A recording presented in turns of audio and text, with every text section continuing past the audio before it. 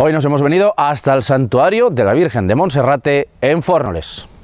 ¿Qué tal? ¿Cómo están? Fin de semana el que tenemos por delante con numerosas romerías en muchas de nuestras localidades del Bajo Aragón histórico, así que vamos a ver qué fin de semana nos espera y les adelanto que traigo buenas noticias, porque a pesar de que ahora tenemos cielos parcialmente nubosos, sí que es cierto que esperamos algún chubasco débil y aislado, muy localizado también, recalco lo de débil y aislado, en cualquier punto del territorio. Pero va a ser más bien anecdótico y eh, ya de cara, como decimos, a el final de esta tarde se irán abriendo los cielos. Mañana más de lo mismo porque amaneceremos con cielos soleados y despejados en todo el Bajo Aragón histórico y eso sí, por la tarde vamos a tener precipitaciones débiles y aisladas, muy localizadas, lo vuelvo a subrayar, muy localizadas, que serán además de anecdóticas, ya que en gran parte del territorio lucirá el sol y tendremos temperaturas además muy agradables. Las máximas se situarán en torno a los 24 o 25 grados y lo que habrán notado ya es que las mínimas llevan ya varios días subiendo y se sitúan en torno a los 10 grados.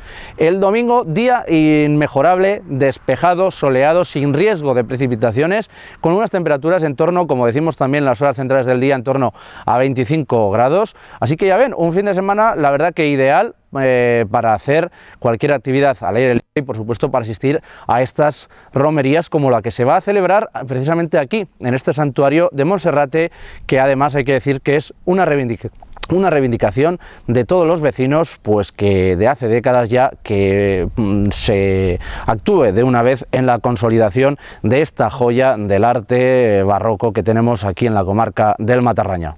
Y ya les adelanto que la semana que viene va a comenzar con temperaturas preveraniegas que se van incluso a acercar a los 29 o 30 grados en alguno de los lugares del Bajo Aragón histórico. Pero no se fíen, así que nos despedimos con un refrán que dice que hasta el 40 de mayo no te quites el sayo. Que pasen un feliz fin de semana.